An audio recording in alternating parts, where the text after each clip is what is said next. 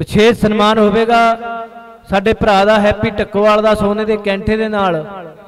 ਜੀਵਨ Singh ਕੁਲਥਮ, Manila ਵਾਲਿਆਂ ਵੱਲੋਂ ਗੋਪੀ ਸਰਪੰਚ ਸਾਧਪੁਰ, ਬਿੱਲਾ ਨਾਗਰਾ ਮਾਧੋਪੁਰ, ਰਣਧੀਰ ਸਿੰਘ, ਧੀਰਾ ਜੂਕੇ ਸਰਜੀਤ ਸਿੰਘ ਸਾਧਪੁਰ, ਬਹਾਦਰ ਸਿੰਘ ਹਕੀਮਪੁਰ, ਮਹਿੰਦਰ ਸਿੰਘ ਮੱਲੀਆਂ, ਜੋਰਾ ਪੰਡੋਰੀ।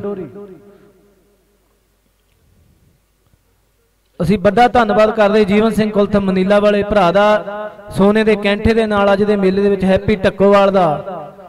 ਵੱਡਾ ਮਾਨ ਸਨਮਾਨ ਹੋ ਰਿਹਾ।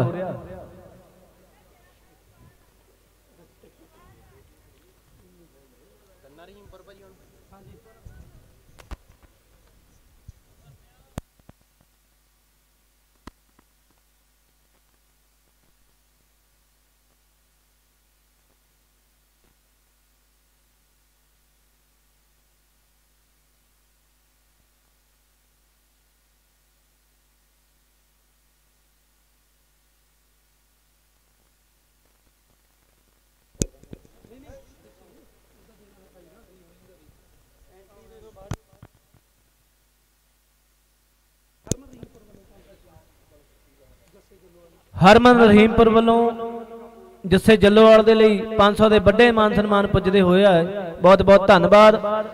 ਵੱਡਾ ਧੰਨਵਾਦ ਜੀਵਨ ਸਿੰਘ ਕੁਲਥ ਮਨੀਲਾ ਵਾਲਿਆਂ ਦਾ, ਜਿਸ ਭਰਾ ਦੇ ਵੱਲੋਂ ਅੱਜ ਹੈਪੀ ਢੱਕੋਵਾਲ ਦਾ ਸੋਨੇ ਦੇ ਕੈਂਠੇ ਦੇ ਨਾਲ ਵੱਡਾ ਮਾਨ ਸਨਮਾਨ ਕੀਤਾ ਗਿਆ। ਬਹੁਤ ਬਹੁਤ ਧੰਨਵਾਦ।